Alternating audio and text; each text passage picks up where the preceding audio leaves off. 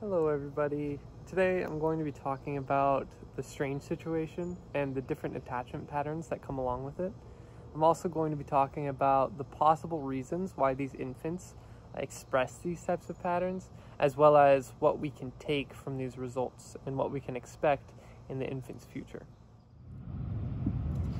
Back in 1969, an American psychologist by the name of Mary Ainsworth came up with a new method to study behavior in infants. This procedure focuses on the elements of an infant's behavior that can go unnoticed or misunderstood by those around them as well as their parents. This procedure is referred to as the strange situation. It is used to get a better idea of an infant's attachment style. Something I do want to mention uh, before I get into describing the procedure. The wording can be a little exclusive. They refer to the parental role as mother rather than just parent. So for the sake of inclusivity, the rest of my presentation will refer to them as the parent role. With that said, there are eight steps that make up the strange situation, and each of them lasts around three minutes. Those eight steps are step one, the parent, the baby, and the experimenter are in an interesting and engaging room. Step two is the experimenter leaves the parent and the infant alone. Usually during this period, the infant will begin to explore the room and play with the toys that are provided. In step three, a stranger comes into the room and gradually begins to interact with the child while the parent is present and overseeing the situation. In step four, the parent leaves, meaning the child and the stranger are alone together in the room. Depending on the child's reaction to the parent leaving, this step can last anywhere from 30 seconds to 3 minutes. In step 5, the parent returns to the room and then the stranger leaves. In step 6, the parent leaves and the infant is alone by itself in the room. In step 7, the same stranger returns to the room, meaning it's just the stranger and the infant during this step. And then finally, step 8, the parent returns and the stranger leaves again. These reactions can be categorized into three, now four, different uh, patterns. Uh, first, there is the secure attachment pattern. This pattern is largely considered to be the normal reaction in layman's terms. Infants who express this form of attachment do so by exploring their surroundings and interacting with the toys that they find. They feel comfortable when they're with their parental figure, but they get upset when their parent leaves. When their parent comes back, they get excited again.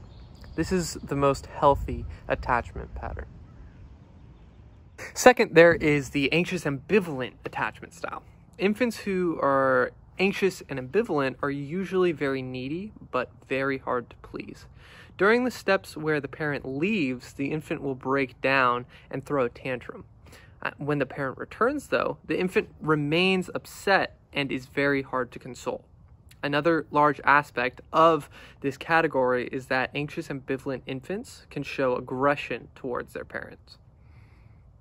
The third category is referred to as the avoidant attachment style. With the avoidant attachment style, the child won't be very affectionate toward the parent to the point of nearly ignoring them.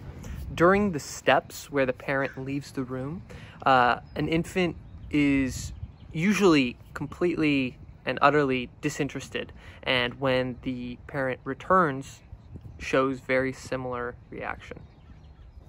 As with most things in life, improvements can always be made. In regards to the strange situation, the three attachment patterns that I just covered were a great start, but since then, a fourth attachment pattern has been formed.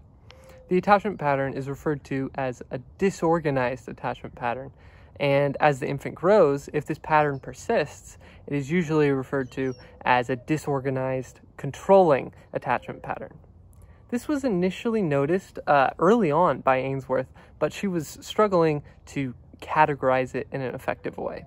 Through researching, I found that Ainsworth is happy with this new classification, but she wants to make it clear that this is quite an open ended classification.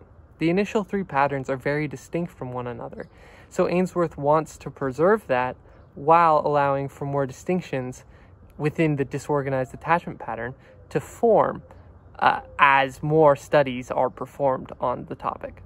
Infants who display this type of pattern are usually characterized as showing fear in their movement. Fearful movement includes jerky movement as well as tensioned shoulders. Another characteristic of this pattern is that these exhibitions of fear don't necessarily line up with events that are happening. The way an infant is parented has a huge impact on the type of attachment style that they're likely to be exhibiting.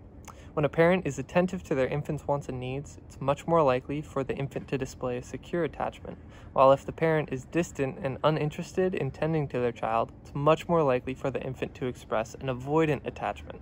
Children that express these forms of attachment usually show aggressiveness later in life. Similarly, if a parent is treating their infant inconsistently, the infant will express an anxious ambivalent attachment. Anxious ambivalent children usually suffer from anxiety and depression when they get older.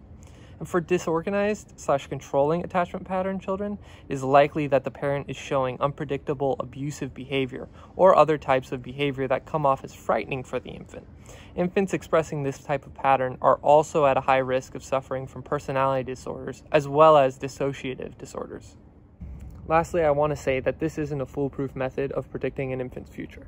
What I mean by that is, the situation that they created is merely a snapshot of a single day in this infant's life is highly possible that they were acting strange, pun intended, and that their results won't necessarily be as accurate as possible. This procedure is more so a possible predictor of future attachment patterns and not so much a definitive answer. Thank you for watching.